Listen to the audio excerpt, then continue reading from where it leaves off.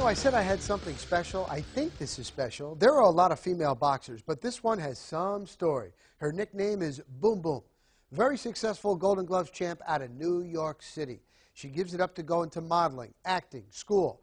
But you know what? She could not give up the sweet science. Boom Boom just fought in her second pro fight. She was on the undercard of a Macho Camacho fight in Kissimmee. Jeff Ratcliffe has this Sports Connection spotlight. In just her second professional fight, 33-year-old Patricia Alcivar has rung up another win by knockout. Over the weekend in Kissimmee, the New York City native used her opponent's head as a punching bag for three-plus rounds. The fight was stopped in the fourth. Alcivar is a student, model, and aspiring actress, is well-spoken and mild-mannered outside of the ring, but when she tapes on the gloves, she transforms into Patty Boom Boom. It's a little bit ironic because people see me and they don't think at all that I would be a boxer, which to me is flattering. I think I would be insulted if someone says, "Oh yeah, you look like a boxer." so, so um, it doesn't bother me at all. So it can't be uh, the drastic of the irony of it. After leaving an abusive home at the age of 15, Patricia managed to finish school while working and used sport as an outlet for her frustrations.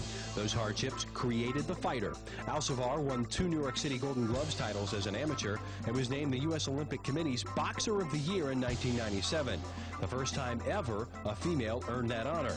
The only thing left was to turn professional. So three years after she hung up the gloves, Patty Boom Boom is again packing all of her punches. I, I, tend to throw a lot of body punches and a lot of hooks and mixing, mix it up a bit, up and down. So I absolutely love it.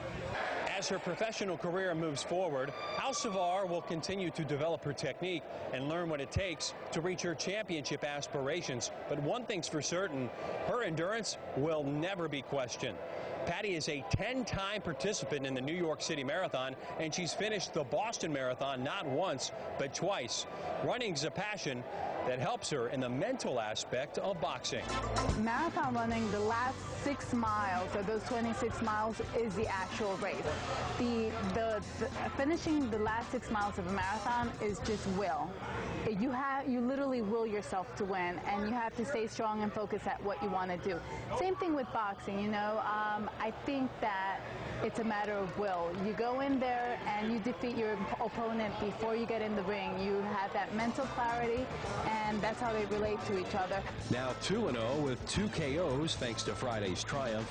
Patty Boom Boom will continue to search for that next challenge. I have it completely planned. Um, you know, within the next three years, I hope to win um, a couple of cha world championship belts um, and continue to be an inspiration to women and athletes around the world. The new Boom Boom, Ray Boom Boom Mancini, now Patty Boom Boom. Wednesday night.